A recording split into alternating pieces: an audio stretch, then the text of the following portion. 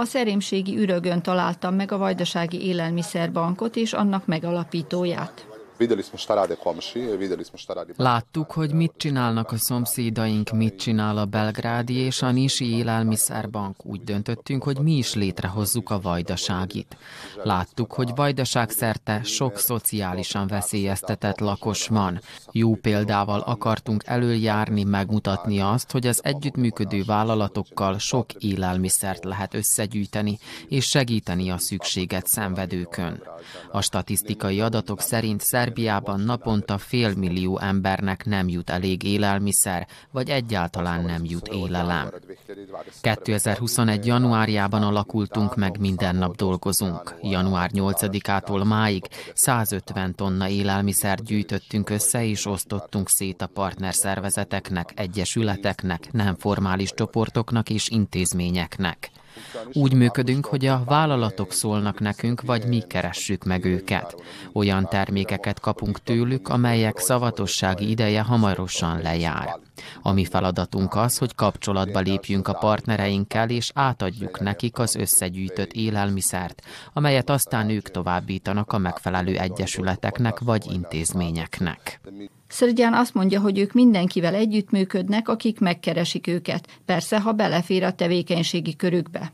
Ők szétosztják az adományokat, igyekeznek mindenkinek szükségletei szerint adni az adományokból.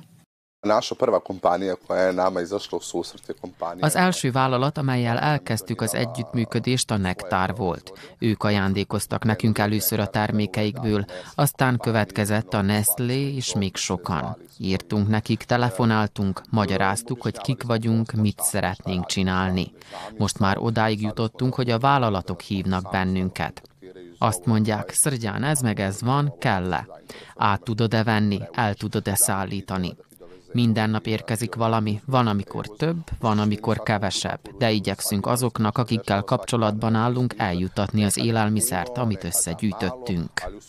Az érintettek maguk jönnek. Nekünk két járművünk van, az egyiket a Szarajevói Pomozi Pásegészszervezettől kaptuk, azaz a pénzt adták a kedi megvásárlásához. A másik egy teherkombi, amelyet a Mozart alapítvány pénzéből vásároltunk. Most azon dolgozunk, hogy pénzt szerezzünk a gépkocsi vezetők fizetésére és az üzemanyagra. Pályáztunk a kőolajipari vállalatnál, meglátjuk milyen sikerrel járunk. Azt tervezzük, hogy meghatározott napokon meghatározott irányba szállítjuk az adományt. Egyelőre a kedvezményezettek jönnek ide, maguk szállítják el az adományt. Végső esetben a Csebza Handicap Egyesület segít ki bennünket, és saját gépkocsijával szállítja el a termékeket. Igyekszünk mindent 48 órán belül továbbítani. A Szerbia-Magyarország Interregipa pályázaton nyert pénzből egy új raktárat szeretnénk építeni, az 400 négyzetméteres lesz. Szeretnénk itt ürögön felépíteni, most telket keresünk hozzá. Reméljük, hogy az önkormányzat támogat majd bennünket ebben. Ez fontos lehet a település számára, hiszen megalakítottunk egy szociális vállalatot is, ahol papíráru gyártásával szeretnénk foglalkozni. Szörgyán elmondása szerint összesen tízen dolgoznak itt önkéntes alapon. Ők viszik be a raktárba az adományokat, ha szükséges, akkor átcsomagolják és megszervezik a kiosztást. Lelkesen beszél a tevékenységéről, örül, hogy segíthet a rászorulóknak.